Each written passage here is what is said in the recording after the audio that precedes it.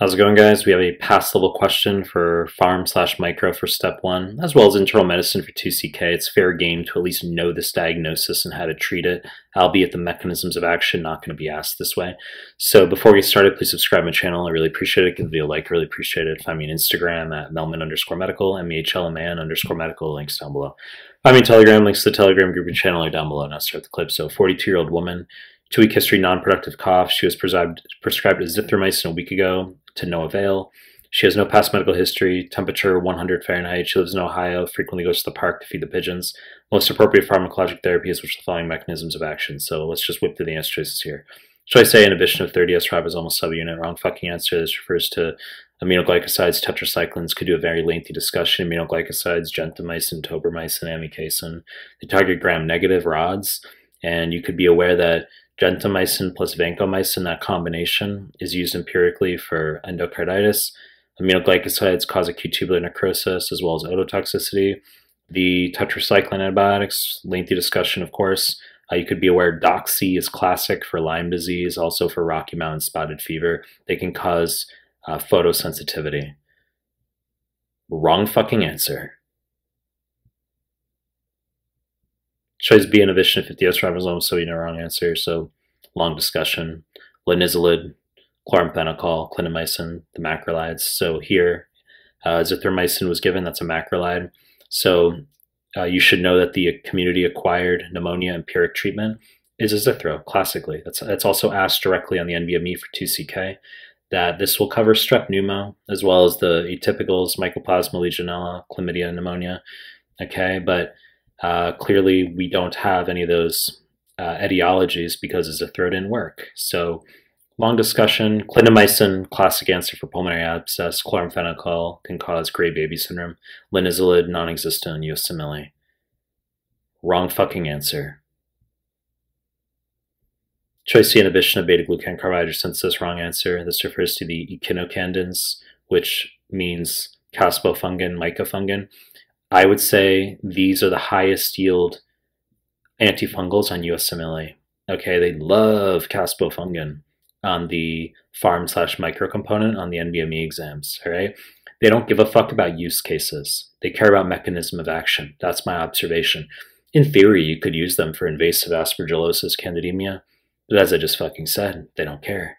They'll just say caspofungin was given, and they just wanted the mechanism of action. It's just beta glucan carbohydrate synthesis or cell wall synthesis for the fungal cell, okay? Cell wall synthesis. Wrong fucking answer. Choice D, formation of membrane pores, wrong answer. So we talk about antifungals. This refers to nystatin, amphotericin B. Nystatin, mouthwash used for oropharyngeal candidiasis. Topical nystatin used for vaginal candidiasis. Uh, you can give amphotericin B. So it's exceedingly high yield. You know that amphotericin B is the hardest hitting antifungal. It's used for disseminated fungal infections, patients who are immunocompromised, who have fungemia with high fever, patients who have Cryptococcus neoformans meningitis, okay, so CNS fungal infections, disseminated fungal infections. We give hard-hitting amphotericin B, okay? So amphotericin B as well as nystatin, those are the ones that poke holes in the ergosterol cell membrane of the fungal cell. Ergosterol is the cholesterol equivalent in the fungal cell membrane. In this case, Wrong fucking answer. Choice E, P450 mediated demethylation disruption is the correct answer. So this refers to azoles, fluconazole. Okay, so this is just going to be histoplasma, presumably. Ohio, Mississippi River Valley, pigeons I've seen on the NBME exams. They can say spelunking, caves. Okay, so we don't need to have any specific diagnosis here. We just assume this is fungal, especially since azithro, as empiric for walking pneumonia, right? She's otherwise young and healthy, young enough, okay? And she's just healthy, generally, no past medical history. And we assume maybe she had a mycoplasma, but azithro didn't work. So, okay, Ohio, pigeons, maybe it's fungal.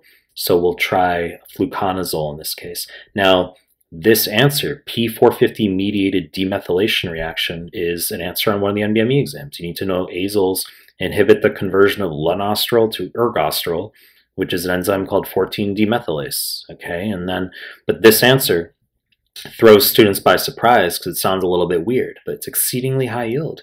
you need to know that's what azoles do. Okay, so you've got squalene via squalene epoxidase goes to lanosterol. That step's inhibited by terbinafine. Terbinafine can be used topically for tinea pedis as well as orally for onychomycosis, which is nail bed fungal infections. Then you have lanosterol goes to ergosterol via 14-demethylase, and that's azoles. Okay, and azoles are just a broad treatment. Okay, for lots of different fungal infections that are otherwise uncomplicated.